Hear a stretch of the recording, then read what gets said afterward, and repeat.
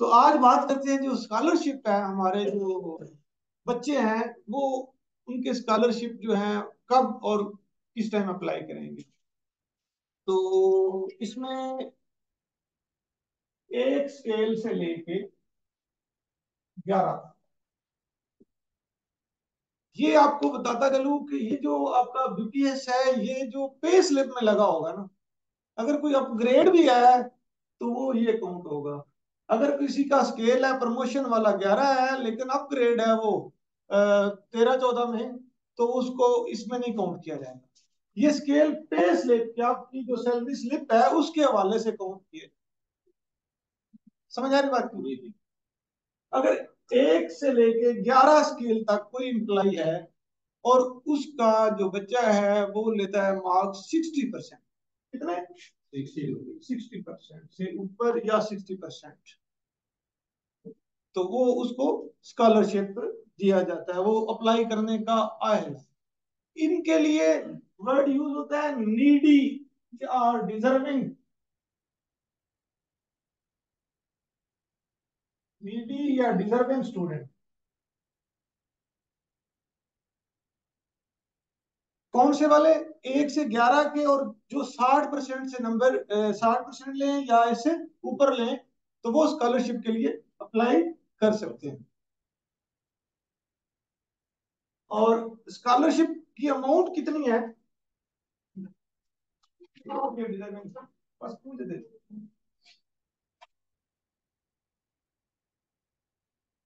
ये अपना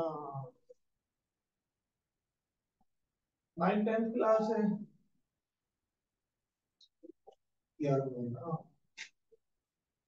इंटर है और ग्रेजुएशन है और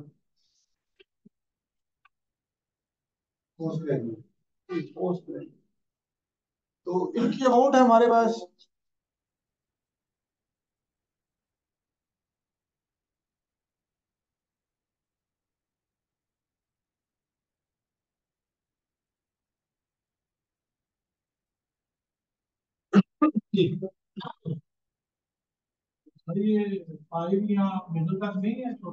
नहीं यहाँ से स्टार्ट होता है नाइन टेन और इंटर है ग्रेजुएशन है और पोस्ट ग्रेजुएशन इनमें अगर नाइन टेन है तो बीस हज़ार है अगर इंटर है तो पच्चीस हज़ार है और ग्रेजुएशन है तो तीस हज़ार है और पोस्ट ग्रेजुएशन में साठ परसेंट नंबर लेता है बच्चा तो पैंतीस हज़ार।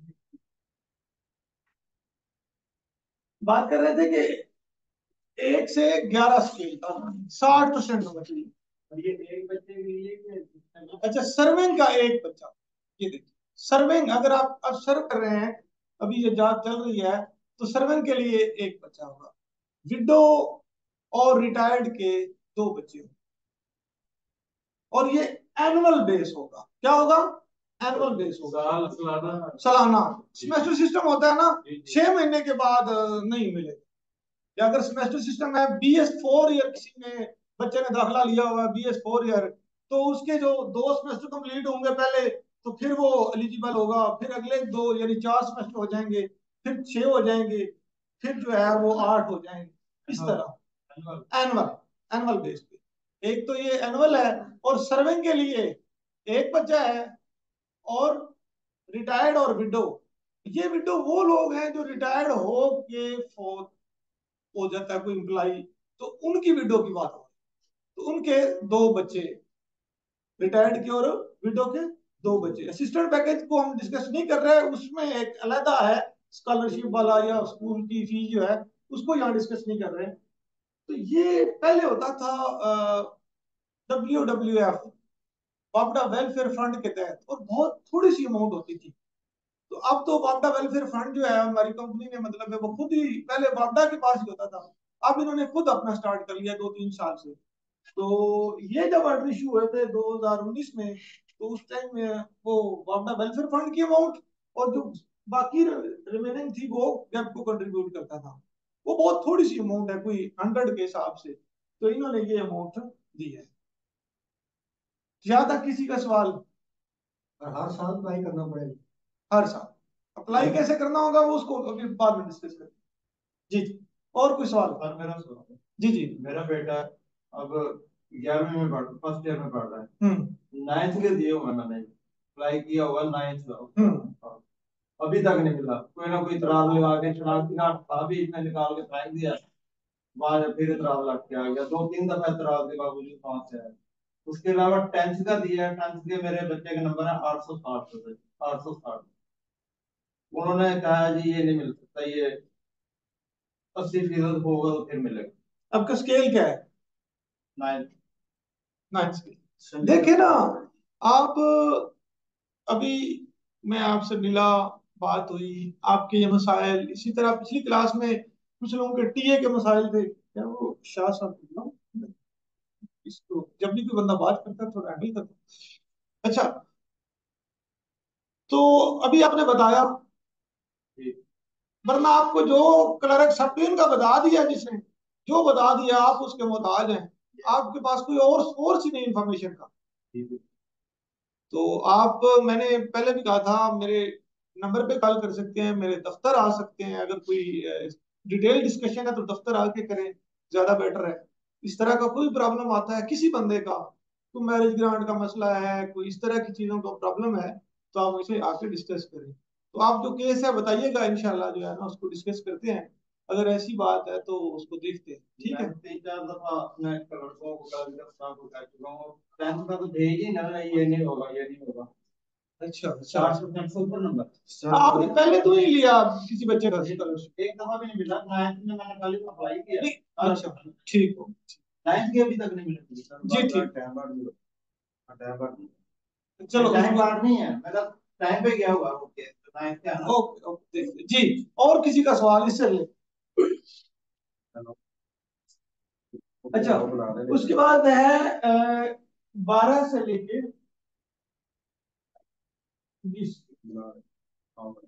बारह से बीस स्केल तक। इसको टैलेंटेड बच्चे जो होते हैं ब्रिलियंट स्टूडेंट होते हैं उनके लिए होता है।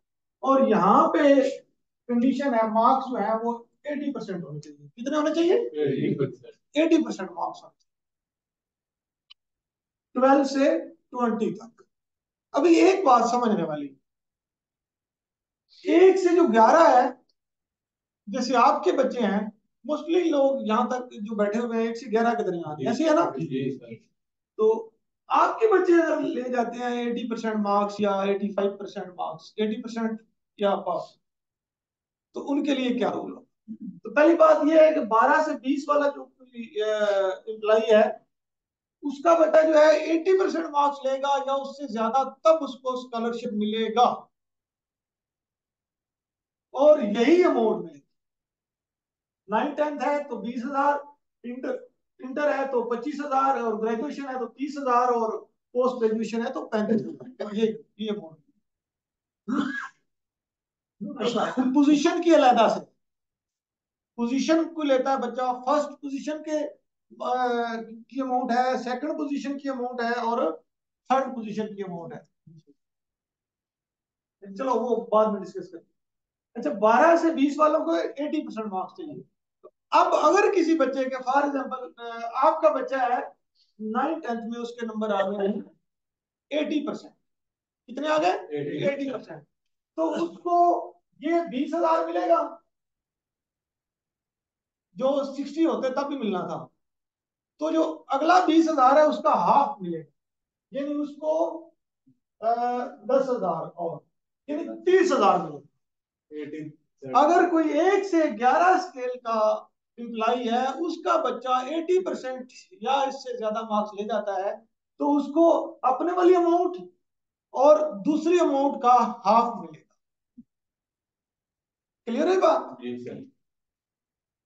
तो एक बात की थी कि सर्विंग एक बच्चा रिटायर्ड दो। और विडो भी दो बच्चे।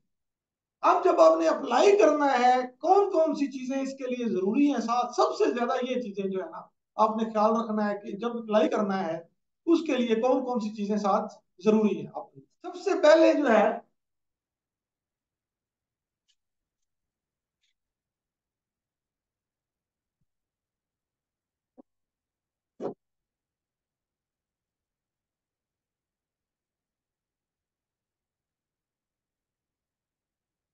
Request of applicant. आपने, ये बड़ी इंपॉर्टेंट चीज़ है। अभी हेडक्वार्टर ने एक इसमें तब्दीली की है कि अब कोई भी, पहले होता था रिक्वेस्ट बना के, फर्जी बना के लगा देते थे, रख देते थे। तो अब जो रिक्वेस्ट होगी, वो आपका जो दफ्तर है, वहाँ पे डायरी होगी और मार्किंग होगी विद डेट ये इसलिए किया है ताकि पता चले कि केस डिले कहाँ हुआ है। जिस तरह टाइम बार्ड का इशू आ जाता है तो ये केस डिले कहा हुआ है, इसको वेरीफाई करने के लिए रिक्वेस्ट जो है वो चाहिए सबसे पहली बात, आपने रिटर्न रिक्वेस्ट देनी है कि ये मेरे बच्चे ने इसमें एग्ज़ाम में इतने मार्क्स लिए हैं, मुझे स्कॉलरशिप दिया जाए इसके लिए। ठीक है? उस रिक्वेस्ट को आपने क्या करवाना है? डायरी करवाना है मार्क करवाना है, यानी डायरी और नंबर और डेट वो चाहिए होता है। ये इसलिए कर रहे हैं कि ताकि पता चले कि केस डिले कहाँ हुआ है। ठीक है? तो सी एन आई सी इंप्लाई का।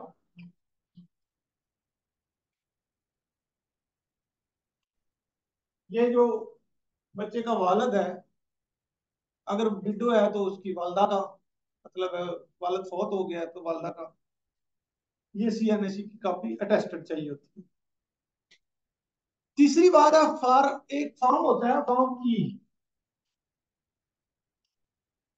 फॉर्म ये फॉर्म ई के नीचे जो भी आपका स्कूल है, बच्चे का कॉलेज है, उसका जो हेड है प्रिंसिपल है, वहाँ से टेस्ट करवा और फिर फॉर्म ई जो है, आप मुतलका डीडीओ डीडीओ से भी करवाना डीडीओ होता है ड्राइंग एंड डिस्पर्सिंग ऑफिसर और एक्सियन होता है, उससे भी टेस्ट हो। उसके बाद जो है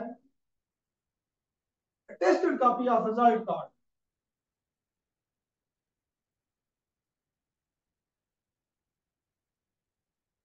sir form E जो है सो ये, ये प्रिंटेड फॉर्म नहीं नहीं नहीं हमारे पास प्रिंटेड फॉर्म है। सॉफ्ट कॉपी आप प्रिंट निकाल लें। प्रिंटेड फॉर्म है स्पेसिमन बना हुआ है। फिल करना है। उसके बाद रिज़ल्ट कार्ड रिज़ल्ट कार्ड जो है आपने वो जो स्कूल का प्रिंसिपल है वहाँ से टेस्टेड करवाना है। और रिज़ल्ट कार्ड में दो चीज़ें हैं।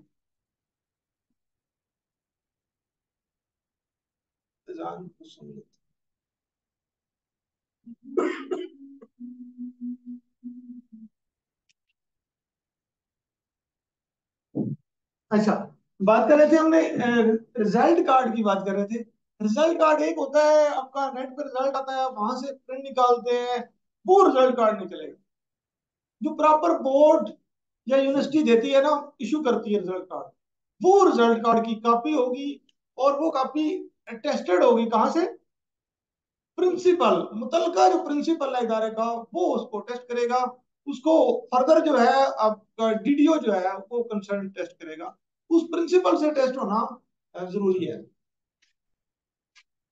और फिर से बताता चलू कि वो जो आप नेट से निकालेंगे, वो कॉपी नहीं चलेगी। इधर ये हमारे पास है भी। ये देखिएगा, इधर एक लगाई है कॉपी ये हमारे पास एक केस है। ये इस तरह ये रिक्वेस्ट चाहिए ये। ये डायरी हुई हो प्रॉपर रिक्वेस्ट आप हाथ से भी लिख सकते हैं और इस तरह कंप्यूटर से भी लिखिए। ये उसके वालद का शनाख्ती कार्ड सी एन सी और एक और चीज़ बच्चा जो है उसका बे फॉर्म बे फॉर्म चाहिए हो। ये इसमें भी ऐड करें। जी? आईडी कार्ड हाँ किसी से भी करवा लें आईडी कार्ड ये फॉर्म ही है। इसके दो पेजेस हैं। ये सेकंड पे देखिए प्रिंसिपल से भी आपने टेस्ट करवाना है और एक्सीएम साहब से भी आपने डीडीओ जो है, कोई भी डीडीओ आपका जो होगा, जहाँ से आप सैलरी आपकी बन रही है, वहाँ से आपने करवाना है। इधर अच्छा ये फॉर्म ई आ गया। उसके बाद लिस्ट ऑफ़ फैमिली मेंबर्स आपके कितने बच्चे हैं? पूरी फैमिली की एक लिस्ट जो है, वो आपकी आपका एस डी टेस्ट कर दे। वो आपने साथ प्रोवाइड करनी है उसके अलावा एक सर्टिफिकेट आपने देना है, जो मैंने लिखा है, कि इस जो एयर है फाइनेंशियल एयर है, उसमें आप फ़र्स्ट टाइम अप्लाई कर रहे हैं। साल में एक बच्चे का सर्विंग का एक बच्चे का होगा और पहले आपने किसी बच्चे का नहीं लिया होगा। फ़र्स्ट टाइम अप्लाई का आपने बताना है। इसकी इबारत चार्ट सी है। It is certified that mister फला फला is applying first time for scholarship of 10th class from Wabda Welfare Fund during financial year. ये उस फाइनेंशियल ईयर की बात होती है। साल के अंदर फ़र्स्ट टाइम आप अप्लाई कर रहे हैं। ये भी आपने एक सर्टिफिकेट देना है। ये देखे, ये कॉपी नहीं चलेगी। ये कॉपी इस तरह आप नेट से डाउनलोड करते हैं और फिर उसी को टेस्ट करवा के ये कॉपी नहीं चलेगी इसकी जगह पे कॉपी चलेगी। ये जो इदारे को इदारा प्रॉपर भेजता है बोर्ड इशू करता है नेट से कॉपी आपने नहीं भेजनी। और ये टेस्टेड करवानी है मुतलका प्रिंसिपल से। किससे प्रिंसिपल से टेस्ट करवानी।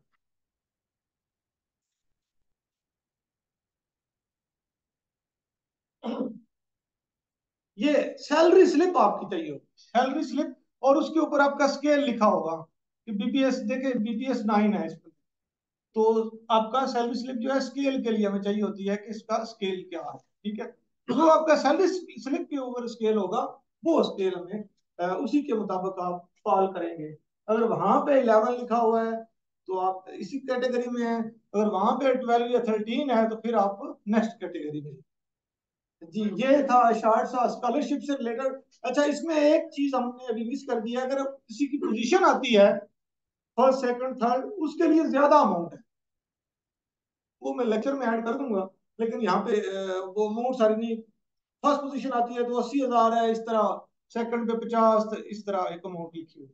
इसी तरह इंटर की अलहदा से है ग्रेजुएशन की अलहदा से हर एक अलहदा से। ये इससे अलावा है। अगर आपके बच्चे की पहली पोजीशन आती है बोर्ड में से या यूनिवर्सिटी है फॉर एग्ज़ाम्पल वहाँ से भी आप गोल्ड मेडलिस्ट बच्चा होता है तो आती है ऐसे वो है कुछ? अच्छा और कोई सवाल आप लोगों का इससे रिलेटेड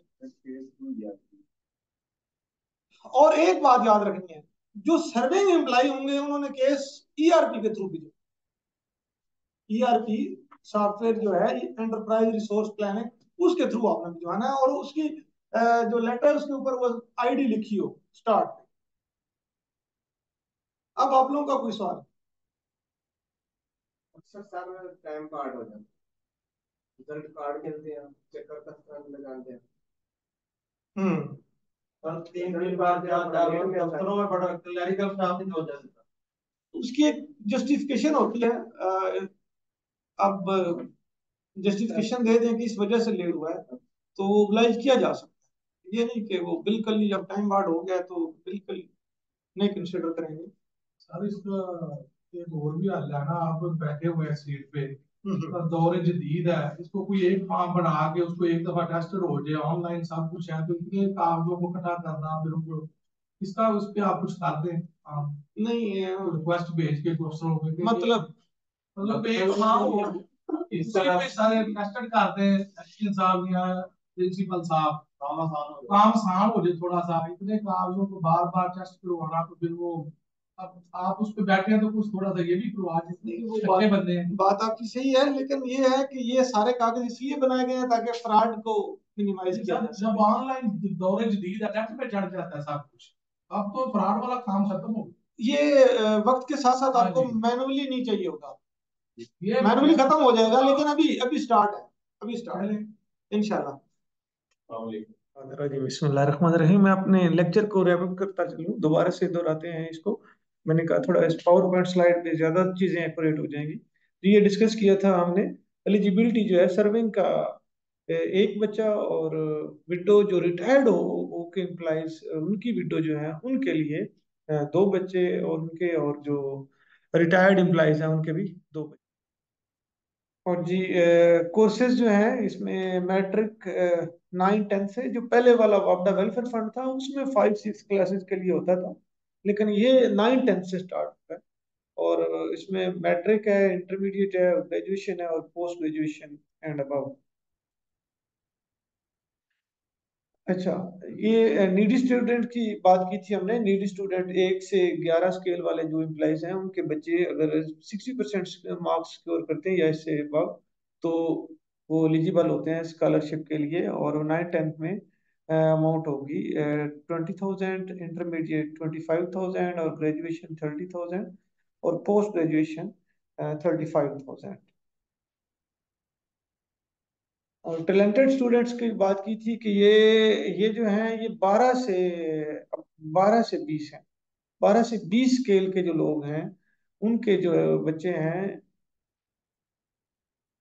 यहाँ पे एक से बीस लिखा हुआ है, लेकिन ये बारह से बीस है। ये नोटिफिकेशन में भी मिस्टेक है, एक से बीस लिखा हुआ लेकिन बारह से बीस स्केल वाले जो एम्प्लॉज हैं, उनके जो बच्चे हैं, वो अगर 80 परसेंट मार्क्स या इससे अबव स्कोर करेंगे तो तब वो स्कॉलरशिप के लिए एलिजिबल होंगे। तो अमाउंट उन्हीं के लिए भी यही होगी। नाइन टेंथ के लिए बीस हज़ार और इंटरमीडिएट के लिए पच्चीस हज़ार ग्रेजुएशन के लिए तीस और पोस्ट ग्रेजुएशन के लिए पैंतीस हज़ार। यहाँ पे एक चीज़ बताता चलूँ कि ये एक से ग्यारह स्केल वाले बच्चे, अगर वो वो बच्चे जो हैं एम्प्लॉयज़ के बच्चे जो हैं, वो एटी परसेंट मार्क्स या इससे अबव स्कोर करते हैं तो उनको ट्वेंटी थाउज़ेंड वो मिलेगा और नेक्स्ट जो है जो भी अमाउंट है नाइन टेंथ का अगर बच्चा एटी से ज़्यादा मार्क्स स्कोर करता है और उसका फादर जो है, वो एक से ग्यारह स्केल के दरमियान है तो उसको तीस हज़ार मिलेंगे और इंटरमीडिएट का अगर स्कोर करता है तो उसको पच्चीस हज़ार वो और साढ़े बारह हज़ार यहाँ से मिलेंगे और इसी तरह ग्रेजुएशन का है तो उसको पैंतालीस हज़ार मिलेंगे। यानी बात करने का मतलब ये है कि एक से ग्यारह स्केल वाले एम्प्लॉयज़ जो हैं, उनके जो बच्चे हैं, उनको एक तो वो अमाउंट मिलेगी, जब 85 80 परसेंट से ज़्यादा स्कोर करते हैं तो एक नेक्स्ट अमाउंट का हाफ़ मिलेगा। तो इसके लिए पोजीशन ऑर्डर्स की बात की थी जो उधर व्हाइट बोर्ड पे नहीं लिख सका। तो पोजीशन अगर फ़र्स्ट पोजीशन आती है मैट्रिक में तो साठ हज़ार है सेकंड में पचास हज़ार है और थर्ड में चालीस हज़ार है। इसी तरह इंटर है अस्सी हज़ार, साठ हज़ार और पचास हज़ार है। ग्रेजुएशन या ऑनर जो है फोर ईयर डिग्री है तो उसमें अगर पहली पोजीशन आती है तो वन लैख है एटी थाउज़ेंड और सेवेंटी थाउज़ेंड है। इसी तरह B S C engineering M B B S है जो है। One lakh fifty thousand, one lakh twenty five thousand और वन लैख। जी। उसके बाद ये इसके साथ चेक लिस्ट जो है, वो क्या क्या लगनी चाहिए? तो ये ऑलरेडी डिस्कस कर चुके हैं। रिक्वेस्ट ऑफ़ एप्लीकेंट वो साथ होनी चाहिए। अब ये जो रिक्वेस्ट है, वो डेरी हो उस का ऑफ़िस से एक बात बताता चलूँ, जो भी रिटायर्ड एम्प्लॉयज़ हैं, वो पेंशन कहीं और से ले रहे होते हैं और रिटायर्ड किसी और दफ्तर से हो रहे होते हैं, हुए होते हैं। तो उन्हें पता नहीं होता कि किसी भी बेनिफिट के लिए आफ्टर रिटायरमेंट कहाँ पे अप्लाई करना है। वो अक्सर वहाँ पे जाते हैं जहाँ से पेंशन ले रहे होते हैं। लेकिन ये बात ज़रूरी नोट कर लें कि जो भी रिटायर्ड एम्प्लॉयज़ हैं, वो जिस दफ्तर से रिटायर्ड हुए हैं लास्ट पे जिससे ली है, जिस दफ्तर से रिटायर्ड हुए हैं, अपने बेनिफिट भी उसी दफ्तर के थ्रू अप्लाई करेंगे। ना कि वहाँ से जहाँ से वो पेंशन ले रहे हैं। अच्छा चेकलिस्ट की बात हो रही थी रिक्वेस्ट ऑफ़ एप्लीकेंट है attested copy of C N I C है, ये इम्प्लाई किया है, अगर बच्चा है तो उसका जो है बे फॉर्म जो है वो होना चाहिए टेस्टेड फॉर्म ई सात जो है वो अगर बे फॉर्म नहीं भी है, तब काम चल जाएगा। अगर बे फॉर्म बना हुआ है, आजकल तो बे फॉर्म ज़रूरी बनते हैं आज छोटे बच्चों के लिए तो बे फॉर्म टेस्टेड हो फॉर्म ई है, अभी मैं स्पेसिमन शेयर करता हूँ फॉर्म ई क्या चीज़ है। और रिज़ल्ट कार्ड की टेस्टेड कॉपी की बात की थी कि जो रिज़ल्ट कार्ड है, इसकी कॉपी जो है, वो मुतलका प्रिंसिपल से अटेस्टेड हो और उसके बाद जो डीडीओ है, उससे, जहाँ से सैलरी ली जा रही है, उससे अटेस्टेड हो। सैलरी स्लिप सर्विंग एम्प्लॉई है अगर वो तो उसकी सैलरी स्लिप होती है। अगर वो रिटायर्ड है तो P P O book retired या विडो है, उसकी पेंशन की पेंशन पेमेंट ऑर्डर जो है पीपीओ बुक बुक कहते हैं। वो साथ उसके लगे हुए चाहिए certificate regarding first time apply उस फाइनेंशियल ईयर में फ़र्स्ट टाइम अप्लाई किया है ये सर्टिफिकेट भी साथ ज़रूरी होता है। लिस्ट ऑफ़ फैमिली मेंबर्स भी आ, साथ अटैच हो कि कितने फैमिली मेंबर्स हैं। उसके अलावा अब शेयर करते हैं। ये ये फॉर्म ई है और इसको इस तरह फिल करना है नेम ऑफ़ एप्लीकेंट है अकेडमिक सेशन है डेट ऑफ़ बर्थ है एम्प्लॉय नेम है। अच्छा employee name date of entry in service कब आया whether father is alive dead ये सारी चीज़ें पोस्ट स्केल अगर रिटायर्ड हुआ है तो due date date of retirement marks कितने ऑब्टेन किए हैं, और टोटल मार्क्स कितने हैं। डेट ऑफ़ एडमिशन ये सारी चीज़ें।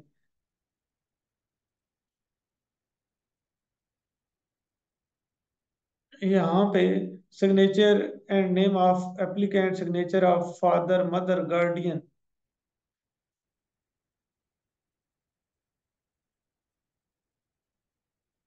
और उसके बाद ये सर्टिफिकेट है। ये जो एप्लीकेंट जो अप्लाई करेगा जो स्टूडेंट होगा, कि ये जो है स्टूडेंट है एप्लीकेंट फलां फलां स्टूडेंट ऑफ़ क्लास यहाँ पे लिखी जाएगी, ठीक है? ये वो इदारा दें ये जो फ़ी पे की जा रही है पर एनम वो कितनी, वो लिखी जाएगी। एनुअल एग्जामिनेशन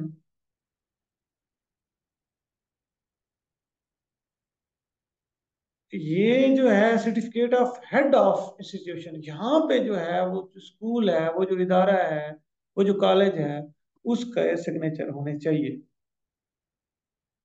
और यहाँ पे certificate of head of office of applicants father's जी, ये अगर वो वापडा वेलफेयर फंड में कंट्रीब्यूशन है तो उसका भी प्रूफ लगा है। और यहाँ पे जो डीडीओ है, उसके साइन होने चाहिए। और यहाँ पे किसके साइन होने चाहिए? वो जो मुतलका स्कूल है या कॉलेज है, उसके principal thank you so much अस्सलाम वालेकुम